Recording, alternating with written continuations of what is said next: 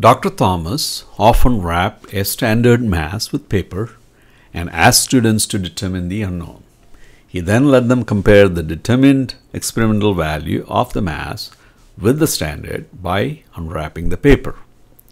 When compared with the standard value, percentage error tells him by how much you are off. Here comes the question. Joe did the physics lab to determine the unknown mass and got 45 grams. The unknown had 50 grams standard written on it. What is the percentage error?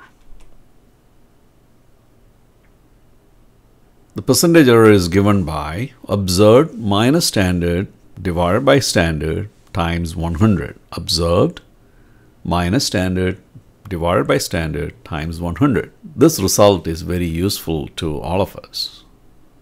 Let us say we are in the process of manufacturing some items and we would like to know if the nuts that we manufacture have bigger radius or smaller radius compared to the standard. As a manufacturer, your goal is to have no percentage error, 0% error. If we do the lab and we observe a value that is greater than standard, so observed is greater than standard, then our percentage error is positive. If observed is less than standard, then our percentage error is negative. And sometimes, ideally, we want percentage error to be zero, which in which case standard and observed should be the same.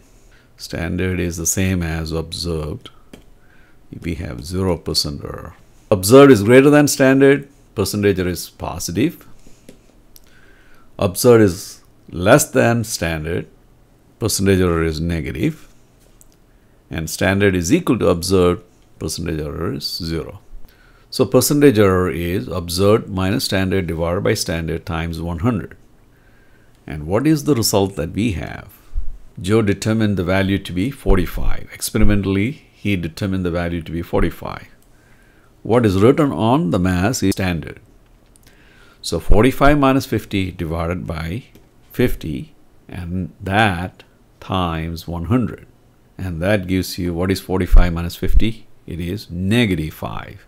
And what is negative 5 over 50? Negative 1 over 10. And negative 1 over 10 times 100 is negative 10%. So we have negative 10%. So read it as negative 10% when compared with the standard. So what is the interpretation? What is the interpretation? Our determined experimental value is less. Remember, it is the observed minus standard divided by standard times 100. So whenever observed 45 is less than standard 50, what happens to 45 minus 50? It is negative 5. Our experimental value is less compared to the standard. It is off by 10%. It is off by 10%. Your words of confidence about us to others matter. Thank you.